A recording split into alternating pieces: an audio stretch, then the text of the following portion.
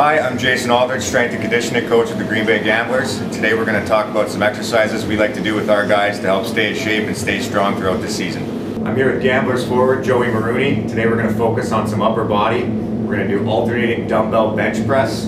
Keep in mind that Joey's been training for a while, so he's going to do a little bit more weight than maybe you're comfortable with. My recommendation would be to start light and do more reps, 12 to 15 reps to start, and as you increase your weight and get stronger, you can cut your reps down to 8 to 10, like I said, with more weight. So Joe, why don't you grab your dumbbells? You grab his dumbbells and just lay flat, flat on his back.